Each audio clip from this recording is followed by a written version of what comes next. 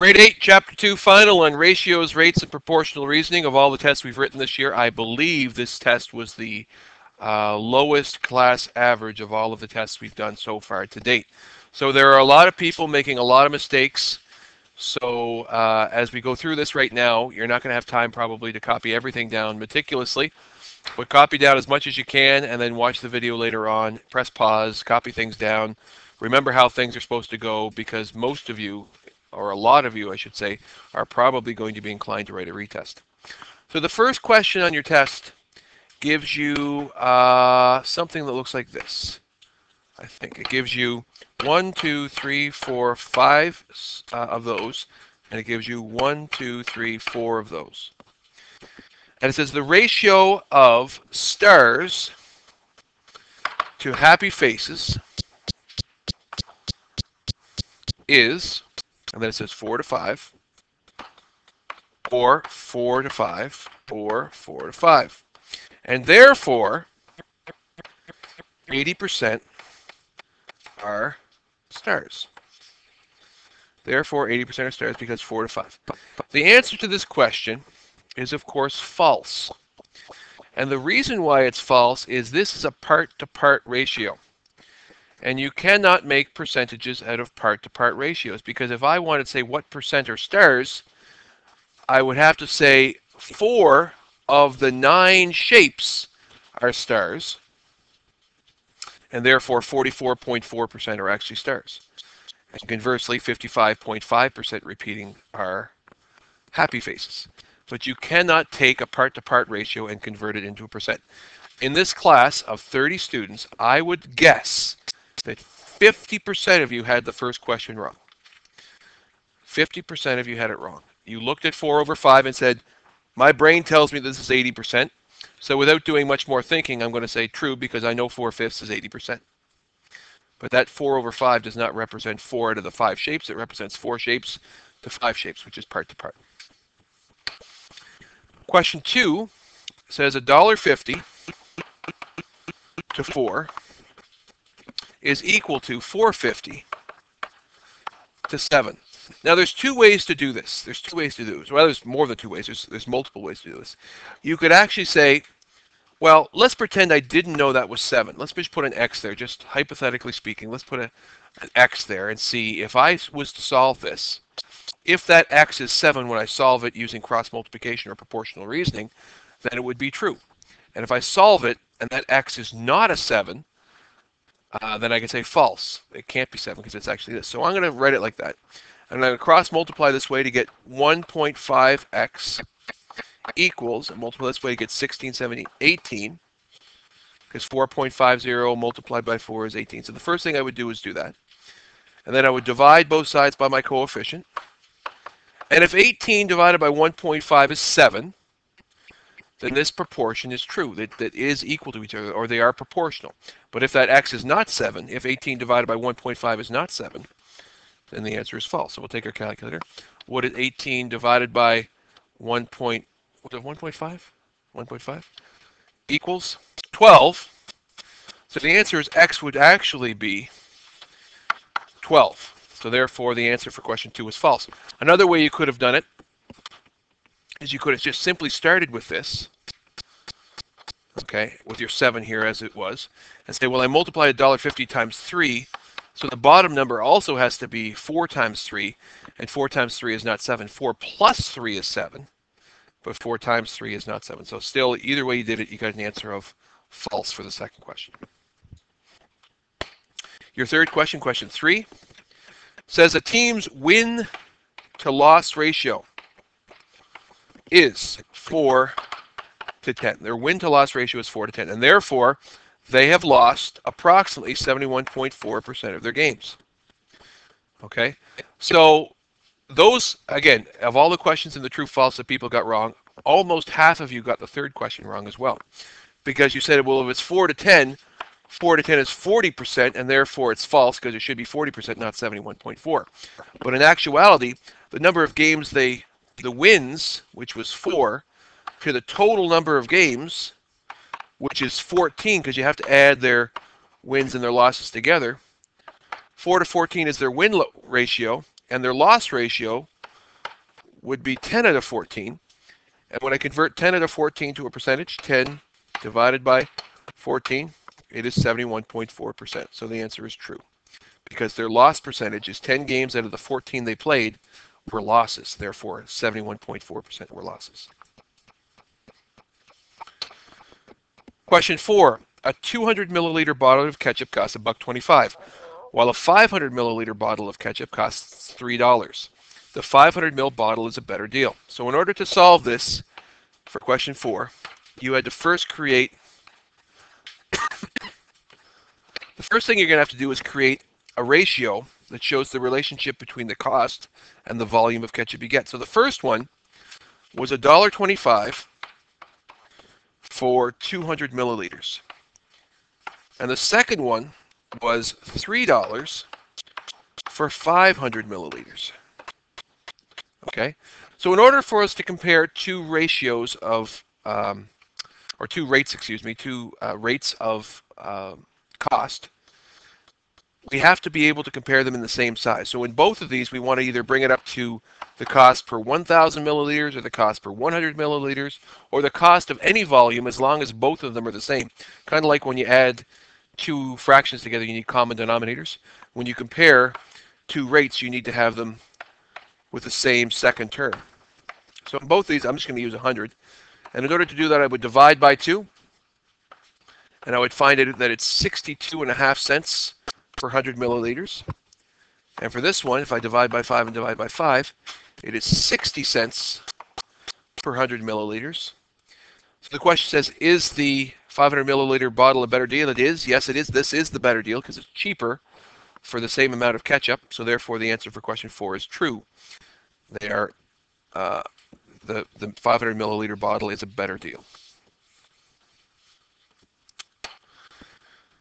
Question five. It says the ratio, the ratio of girls, 12 girls. Sorry, there's a ratio of 12 girls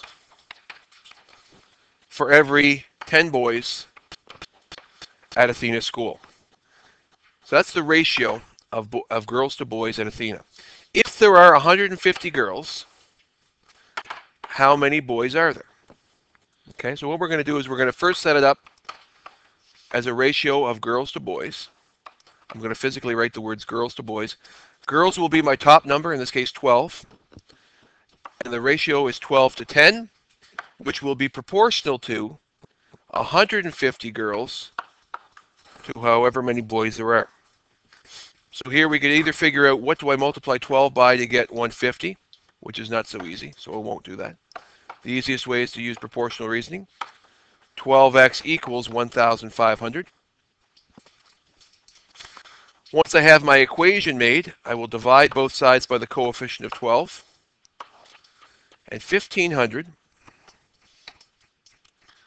1500 divided by the coefficient of 12 tells me that x is 125. Now, a lot of people just stopped there and that was their answer and they didn't clarify what it was, nothing. And you're lucky I was generous because for half of you, I should have taken marks off every single question because these are all story problems. These are all context questions. And the last thing you should always write is this little symbol here. Therefore, 125 boys are at Athena. right? Just because you got an answer doesn't mean I know what it means, right? You have to be able to you have to be able to put it into a context. So the answer would be therefore 125 boys are at Athena.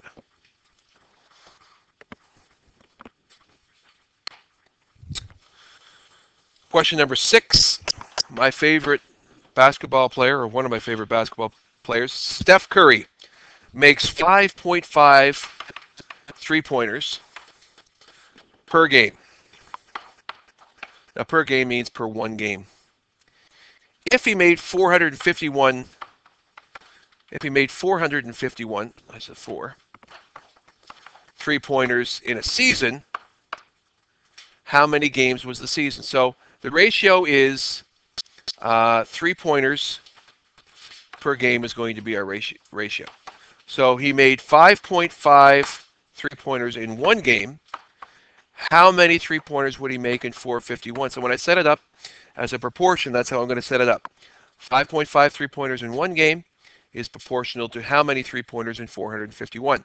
And this is actually quite an easy cross multiplication to do because when I multiply this way to my x, 1 times x is simply going to be just an x. And the other side will actually be my answer. I set this up wrong somehow. Oh, I did. Sorry. Let's back that up. I did make a mistake. I put my things in the wrong place. I'm solving the wrong ones. Okay, back up. Oh, to there. So this was, he made 455 three-pointers. So that 451 has to be in the top, not in the bottom. How many games did he play? I made a mistake on that. So now we're going to multiply across here. It's not as easy as I thought it was going to be. When I multiply 5.5 by x, I get a coefficient of 5.5 or 5.5x equals 451. Divide both sides by 5.5, which is your coefficient, to isolate the variable, and therefore x equals 82. If I take 451, 451 and divide it by 5.5, I get 82. And therefore, this is the last thing you have to write, therefore, there are 82 games in a season, which is true. That's how many games there are in an NBA season. There are 82 games in an NBA season. Question seven. it says my mom can make 16.5 loaves of bread, L O A V E S, loaves of bread from a 20 kilogram bag of flour. Okay. How many loaves of bread? How many loaves of bread can she make from 44 kilograms? So again, we're going to set it up as loaves, L-O-A-V-E-S, to kilograms of flour. So she can make 16.5 loaves out of 20 kilograms. How many loaves can she make from 44 kilograms? Set it up as my proportion. Solve it by multiplying across here to get 20x. Multiply 16.5 by 44. 16.5 multiplied by 44 is 726. And to isolate for x, to find out what x is, I'm going to divide both sides by 20. And I'm going to take that 726 and divide it by 20. And I get x equals 36.3. Now, I was fairly generous for this because obviously you can't make a third of a loaf. So how many loaves of bread can she make?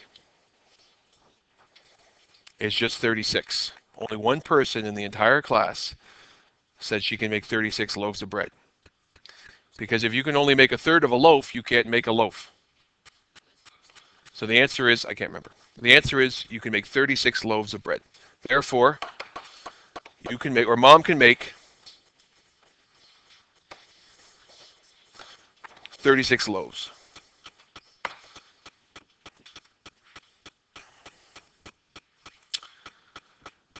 Question number eight. Bob can type 84 words, can type 84 words in two minutes and 30 seconds.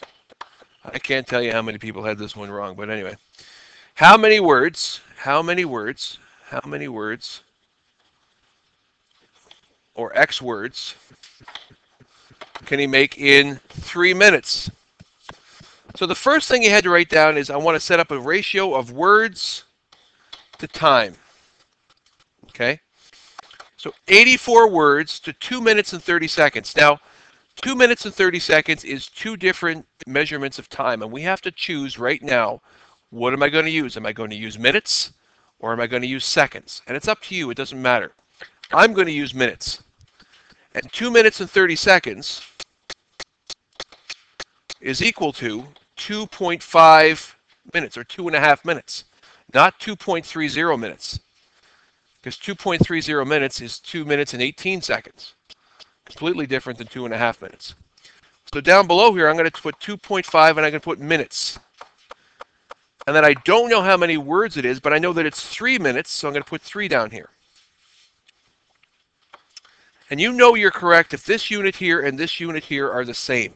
If they are different, if one of them is seconds and one of them is hours, if one of them is kilograms and the other one is grams, if one of them is liters and the other one is milliliters, you have to make a change and you have to convert one of them to the same unit so that all the terms in the bottom are going to be the same units. And once you do that, you can multiply to get 2.5x equals 240 and 12 is 252. Divide both sides by 2.5. And 252 divided by 2.5 equals 100.8. I'm not done yet. So therefore, Bob can type 100.8 or almost 101 words in three minutes. Right? Okay. I suppose you can type a third of a or a 0.8 of a word, 80% of a word. Right? But generally speaking, we want to either round that to almost 101 words or exactly 100 words. Almost a. Question number nine. A lot of people had this one wrong, and it's not hard, but I'm going to give you the answer. I was generous with the answers as long as you were close. So it says chocolate milk is a buck eighty for 400 milliliters. Express this cost as two different unit rates. So the first unit rate you're going to make. So since this is the rate, this is the cost. One unit rate would be divide both by four, and a dollar eighty divided by four is 90 cents. It's 45 cents per 100 milliliters. Now, there are so many people in this classroom that just put 100. They didn't tell me what the 100 was. It could have been liters, it could have been deciliters, it could have been kiloliters, who knows? They didn't put it. So, one unit rate would be 45 cents per 100 milliliters is called a deciliter, but we'll call it the unit rate. So that is your first unit rate, the cost per 100 milliliters. And another way to do that is to take that one and another most common unit rate would be to be one liter multiplied by 10, and you get $4.50 per one liter or per liter. You don't need the one there if you're doing unit rate. Per liter. And the two I expected to see were those two. And since 80% of you didn't have them, that means that 30 people right now are scrambling to write this down because I know for a fact, Evan, not everybody had those two unit rates. Even if you got a check mark, you might not have had those two unit rates written down. Question number 10. A rocket can travel 820 kilometers in 45 minutes. What is its speed in kilometers per hour? So the first thing I'm going to do is set it up as kil kilometers over time. I'm going to put 820 kilometers over 45 minutes. And it wants me to tell how many kilometers it is per hour. Right? So I cannot put one hour as my bottom unit rate there. I have to put minutes. And I'm going to put, instead of an hour, I'm going to call it 60 minutes because that's what one hour is. And now my bottom term has the same units. I want to know how many kilometers it can go. Multiply across here to get 45x. 4, oh, I can't do that in my head. 820 and 60. 49,200 when you multiply across the other way. Take your 49,200 and divide it by the coefficient of 45, and you will get 1,093 at decimal 3 repeating, which of course is a third, kilometers per hour. Okay, so the speed of the rocket, therefore the rocket travels 1,093 and a third kilometers per hour, or 1,093 decimal 3 repeating kilometers per hour.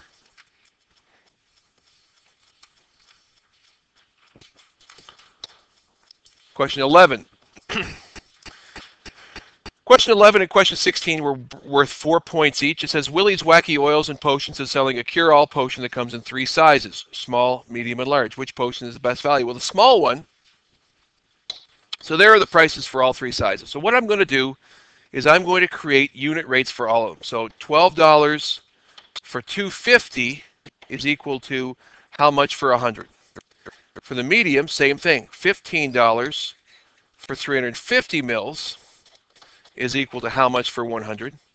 And the large is $20 for 440 mils. How much is it for 100 mils? So you could cross multiply here to get the answer, but I'm going to do it a different way. I'm going to divide 250 by 2.5, and I'm going to divide the top by 2.5. I'm going to divide the bottom by 3.5 and the top by 3.5 the bottom by 4.4 and the top by 4.4. And that's a second way you can get, you could cross multiply and you get 220, 250x equals 1200 or whatever you want to do. I'm just going to show you that there's a different way you could have done this. And if I do the math on those,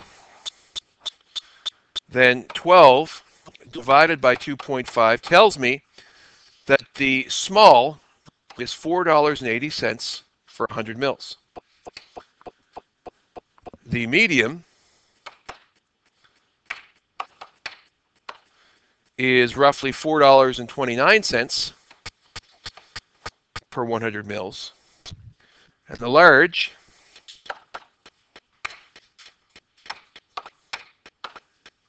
is roughly $4.55 per 100 mils. And therefore, since we're looking for the best deal, best deals, ladies and gentlemen, are not the most expensive ones, they are the cheapest ones. So the best deal therefore is medium because it's only about four dollars and twenty nine cents per per. That was worth four points. So one point for each of these, and one point for identifying that medium is the best deal. Question number 12. OMG, at least at least a quarter of the class got this wrong. So question number 12 says X dollars for one hour is equal to $588 for one week. So the first thing you realize is that I have hours here and weeks here, and I can't have that. Right? So I'm going to change this one week into hours. So there are 24 hours in a day. So one day, so one hour. Multiply it by 24 to get one day. Right? So that would be 24 hours multiplied by seven days to get your week. So 24 times 7 tells me that there are 168 hours in one week. So instead of saying $588 for one week, 168? 168. 168 hours, which is the same thing as one week. So now I have my math set up. My, my terms are all in the same units. I got hours here and hours here. I multiply across my x first to get 168x equals, multiply across there to get 588. Take my 588. Take my 588 and divide it by the coefficient of 168. And it tells me that x equals 3.5. But I'm not done yet. A lot of people left it right there. But you're supposed to put therefore uh, the rate is $3.50 per hour. I guess X is 350. 3.5. $3.5 is $3.50. Uh, question 13 is $11.50 for 30 is equal to X over 40. Here we don't have any units. It's simple. We don't have to change anything. We just have to multiply across here to get 30x. Multiply across here to get 40 times 1150. Oh. Oh. You get 460. Divide that by the coefficient. And you get x equals 15 decimal 3 repeating dollars.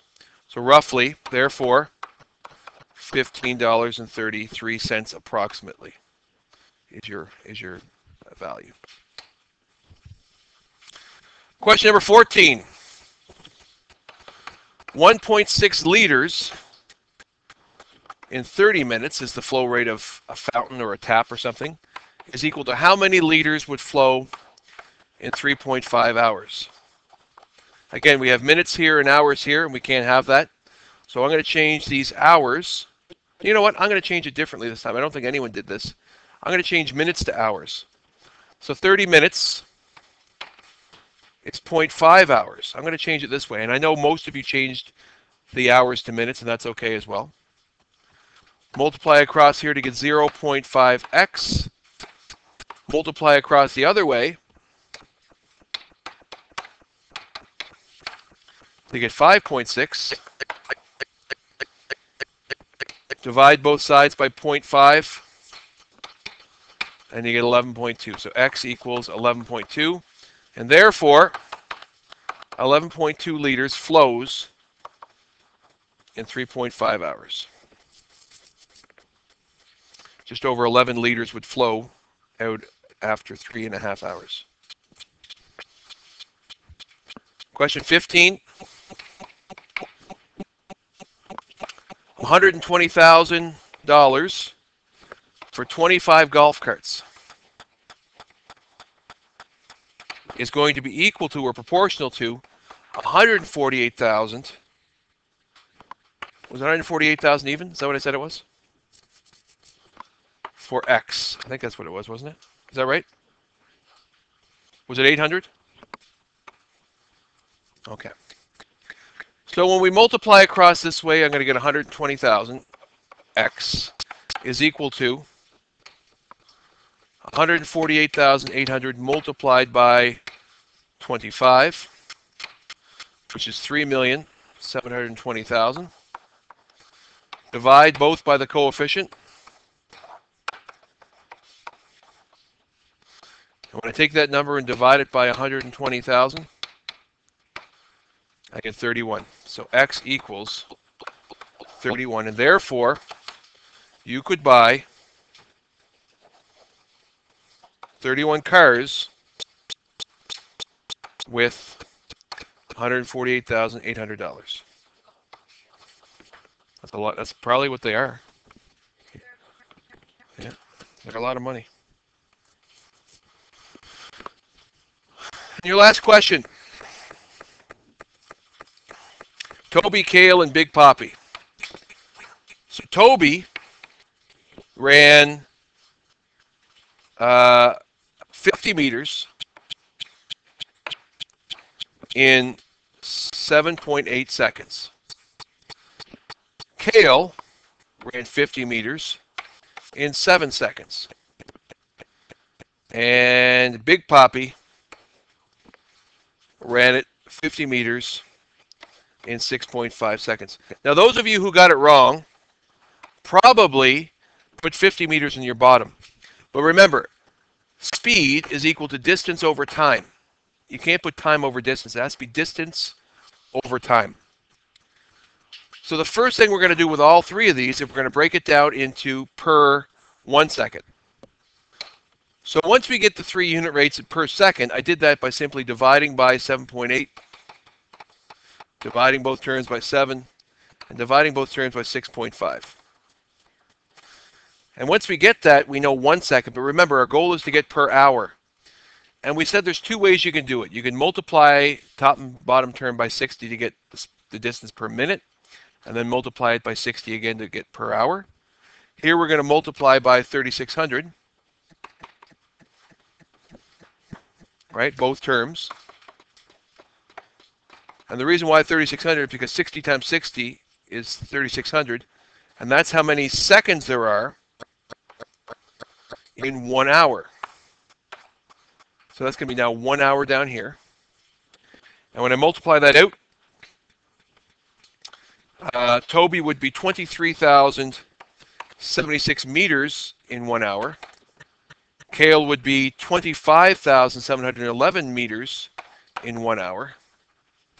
And Big Poppy would be 27,691 meters in one hour. But we're not looking for meters per hour, we're looking for kilometers. So because there's a thousand, Big Poppy would be going 27.961 kilometers an hour. Kale would be going 25.7 kilometers per hour. And Toby would be going 23.076 kilometers an hour. And since 25 kilometers is the speed limit, Kale and Big Poppy are speeding.